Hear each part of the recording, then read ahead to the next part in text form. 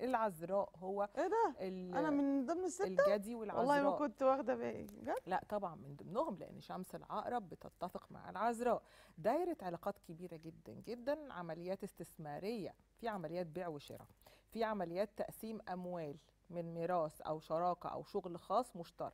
مشترك. يعني انت لو في شغل خاص أو اي حد مواليد العذراء عندهم شراكات عمل في تقسيم اموال. آه وانت هتعاون يا عذراء ناس هتقف في ظهر ناس وهتسند ناس. انت كمان مش انت كمان حد هيعاونك لا انت كمان. وهتكون افكارك عبقرية الشهر ده.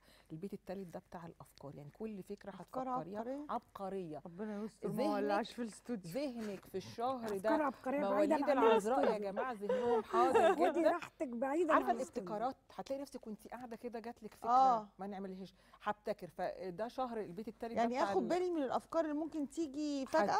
هتفيدك جدا جدا وراها؟ جدا. آه واتصالاتك غنية وتواصلك حلو. علاقاتك حلوة قوي قوي الشهر ده. يبقى كده الست ابراج علاقاتي ده معناه إن أنا أتع... هتعرف على ناس يساعدوني في الحياة؟ جدا. مفيدين جدا هيفيدوكي قوي. علاقاتك حلوة قوي هتفتح لك أبواب okay. البيت التالت ده. وفي حاجة تخص موبايل أو عربية. هتغيري موبايل يا هيجيلك موبايل هدية. يا هتغيري عربيتك يا هتصلحي عربيتك لأن ده التواصل ال- ال- الاتصالات. بالموبايلات يعني أجهزة الاتصالات لأن ممكن حد يجيب لك موبايل هدية عربية هدية iPhone حاجة الجديد كده. بقى؟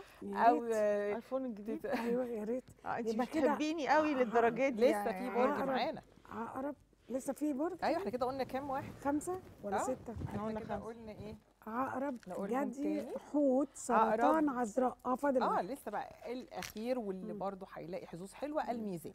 مم. الميزان آه، الشمس داخلة لك في بيت المال والقضايا والاستثمارات ور- ورجوع الحقوق. يعني أي حاجة تخص قضايا قضية معينة كنت مستني نتيجة قانونية لحاجة أو كده اللي هي القضايا الإيه بقى؟ اللي زي قضايا الأسرة قضايا مواريث حاجات ممكن تسمع انفراجات فيها.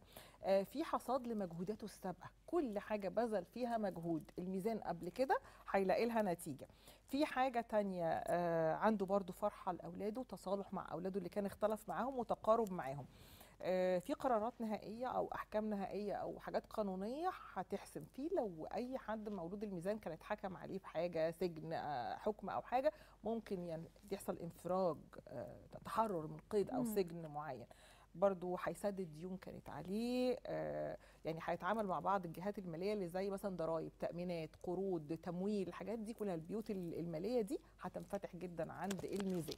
هيفوق برضه وخصوصا قضايا.